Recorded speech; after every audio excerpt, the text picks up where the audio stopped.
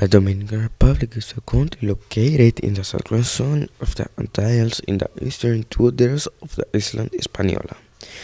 The culture of the Dominican Republic in terms of its people and customs is nourished by the mixture of Spanish, African and Chinese roots.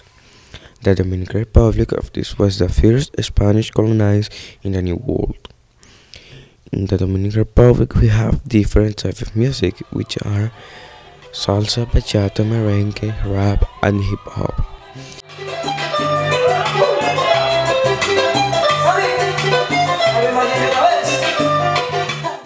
Christmas is celebrated the night of December 24th of the morning of December 25.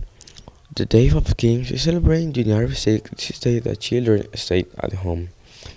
In the Dominican Republic we have different beaches. Beach of Ayaibe, Cayo Paraíso, Sosua Beach, Bay of Eagle, Rincon Beach, Field Racing. The food that is consumed daily in the Dominican Republic is la bandera which consists of white rice, sweet beans, and sweet meat, of whatever type, by preferably chicken, pork, or beef.